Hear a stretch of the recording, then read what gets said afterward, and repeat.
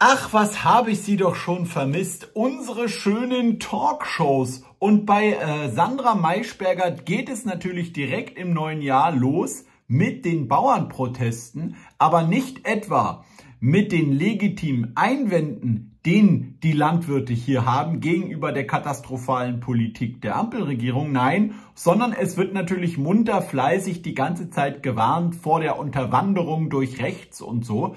Glücklicherweise haben sie aber immerhin den Aiwanger eingeladen, der hier in fulminanter Art und Weise auch den Herrn Nuripur von den Grünen auflaufen lässt. Und damit sanfte Grüße, meine Freunde des kritischen Denkens. Und springen wir gleich mal in die brisanteste Szene wie immer mit rein. Es geht hier einfach um diese Doppelstandards, die immer wieder nicht nur seitens der Grünen, sondern auch der seitens der Medien hier gespielt werden. Ja, nur weil jetzt mal bei einigen Bauerprotesten irgendwie an einem Traktor ein Galgen mit einer Ampel irgendwie dranhing, macht man jetzt ein tierisches Fass auf, während man bei all den zig Dutzenden Demonstrationen, wo sogar Steine geflogen sind, Molotows geflogen sind und so weiter, keine Talkshow oder so damit gemacht hat, wo man die ständig gefordert hat, dass die Politiker der SPD und der Grünen sich von den Linksextremen und so weiter distanzieren oder wo man gewarnt hat, dass eben diese ganzen Klimawandel ähm, Demos und so weiter, Fridays for Future, die letzte Generation, Extinction Rebellion und so von links extrem unterwandert werden und so weiter. Hören wir mal einfach ganz kurz rein, was hier Herr Aiwanger so sagt aber hier generell zu versuchen, dauernd bei den Bauern hier Extremisten ausfindig zu machen oder zu warnen, dass das gekapert wird. Also da sind wir meilenweit entfernt. Da gab es viele Demos, wo die Grünen vorne mitmarschiert sind, wo sehr viele so Verfassungsfeinde waren. Da habt ihr nicht so laut geschrien.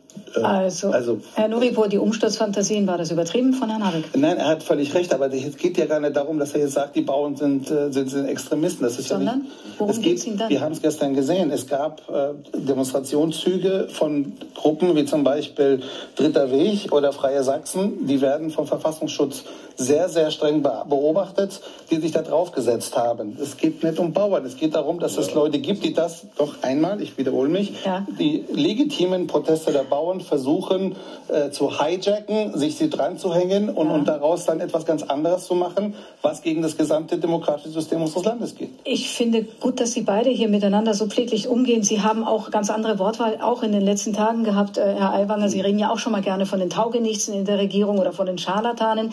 Wäre es denn gut, in dieser Situation einfach mal ein bisschen gelassener daherzugehen und nicht noch mehr Öl ins Feuer zu gießen?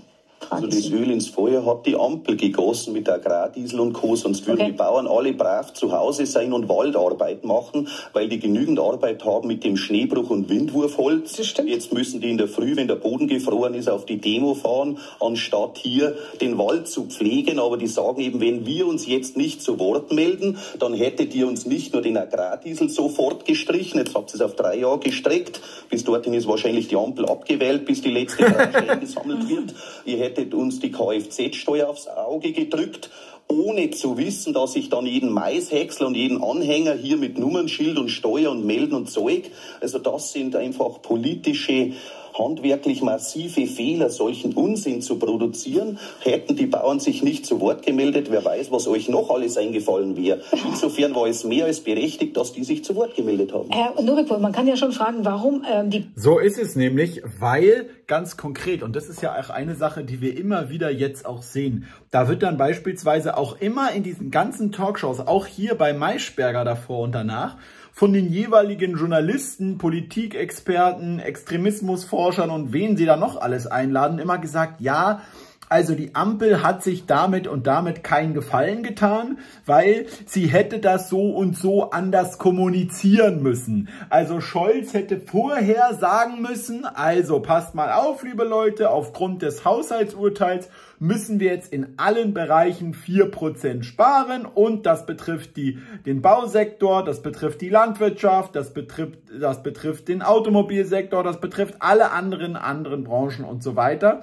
Und dann wäre es alles toll abgelaufen. Das heißt, die ganze äh, Kritik, die ganze inhaltliche Auseinandersetzung mit der Ampelpolitik findet in den Medien fast immer nur dadurch statt, dass man sagt, die Kommunikation war falsch. Aber die Maßnahmen als solche werden nie hinterfragt. Und Aiwanger hat das Ganze jetzt mal wunderbar aufgeklärt, indem er nämlich gesagt hat, jawohl, durch diese massiven Steuern und so wären eben die bürokratischen Maßnahmen eben dadurch auch noch eskaliert. Und da gibt es auch noch eine zweite Stelle hier im Video, wo er nochmal darauf eingeht. Und das ist auch noch sehr sehenswert. Schauen wir mal hier dazu noch rein. Und dann sieht man auch Herr Nuripur, der natürlich, äh, wie er ja auch selber am Anfang der Sendung gesagt hat, nie irgendwo auf einem Bauernhof gearbeitet hat, auch die Lebensrealität logischerweise gar nicht einschätzen kann der Bauern. Und das kommt natürlich dann dabei heraus, unter anderem solche Maßnahmen, weil man es einfach nicht durchdenkt. Weil genau deshalb mussten sie ja jetzt auch diese Agrarsubvention, die sie ja jetzt wieder gewähren, wobei das ja nur einfach bedeutet, dass sie weniger Steuern zahlen müssen. Ja, so viel zum Thema Subvention, dass das jetzt schrittweise gemacht wird und so weiter. Also man merkt halt einfach, handwirklich, ne, die,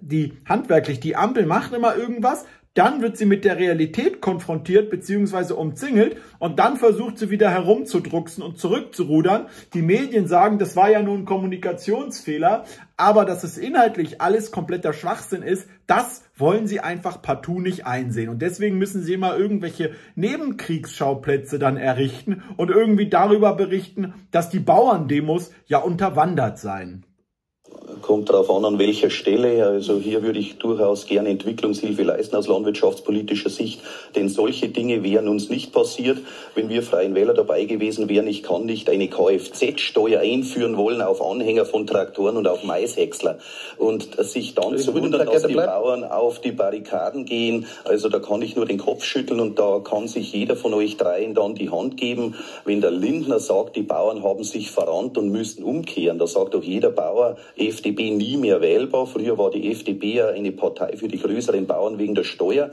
Also ihr seid euch einig gewesen, alle drei, die paar Bauern, die wählen uns eh nicht, denen nehmen wir das Geld. Aber bei Bürgergeld und so weiter werden wir uns nicht einig, weil da vielleicht die Grünen wieder dabei sind. Und das wäre mein Gegenfinanzierungsvorschlag. Aber es sind aber politisch verschiedenen Modelle. Die Bauern sagen natürlich zu Recht, wir sollen Zusatzbelastungen hinnehmen und Leute, die arbeiten könnten und nicht arbeiten wollen, kriegen das erhöhte Bürgergeld. Da so sagt jeder Bauer, geh doch bitte ans Bürgergeld. Schau, dass du die Ukrainer in Arbeit kriegst, die arbeiten wollen. Die kriegen alle das Bürgergeld. Das sind fünf bis sechs Milliarden und ihr rennt hier den Bauern hinterher wegen ein paar hundert Millionen. Ihr müsst die großen Baustellen angehen, wo jeder sagt, diese Dinge müssen korrigiert werden. Aber dort wird man sich eben ideologisch nicht einig. Da sagt man, Bauer ist das kleinere fordern, Opfer. Fordern Sie denn auch noch? Ja. Exakt so ist es. Da will man natürlich nicht hören, deswegen kommen dann auch diese tiefen Seufzer. Ja, so. Aber genau so ist es. Ich meine, man muss gar nicht nur über das Bürgergeld reden.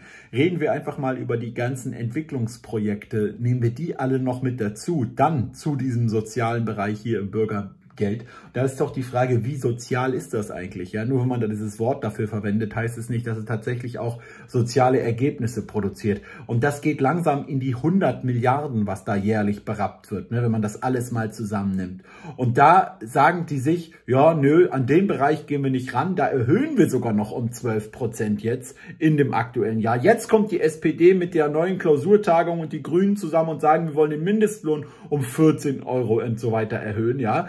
Das wird natürlich wen wiederum belasten? Klar, die Arbeitgeber. Dann wiederum rutschen die natürlich, die das verdienen, wieder in eine höhere Steuerklasse, müssen mehr Steuern zahlen und am Ende profitiert wieder nur der Staat, ja. Also das ist einfach nur noch so ein abgekatertes Spiel mittlerweile. Zum Glück hat Aiwanger das Ganze erkannt. Man muss aber auch sagen, die Freien Wähler an sich, die sind halt einfach so eine kleine Splittergruppe. Nur die sind abgesehen von Bayern halt nicht wirklich noch eine starke, ernstzunehmende Kraft. Ja, aber ähm, ja, wenigstens gibt es halt mal einen dort, der in den öffentlich-rechtlichen Medien in so einer Talkshow auch dagegen hält.